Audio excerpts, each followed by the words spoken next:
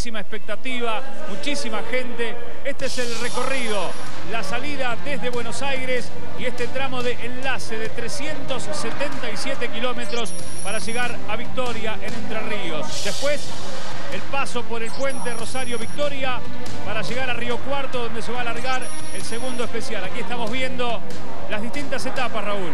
Efectivamente, ya la tercera de Tucumán a Jujuy, la cuarta de Jujuy a Calama, ya en Chile, y a partir de allí comienza lo más difícil.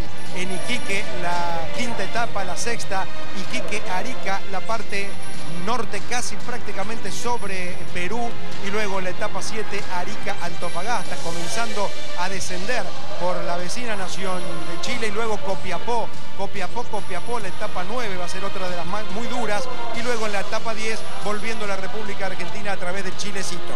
Bueno, un recorrido enorme con todas estas etapas, con 9.000 kilómetros en total, con un Dakar que como dijimos al comienzo va a ir desafiando a los competidores etapa tras etapa y a diferencia de otros años donde hacia el final se iba poniendo entre comillas un poco más fácil, aquí realmente se va a seguir complicando etapa a etapa, por eso la parte final también será para tener en cuenta.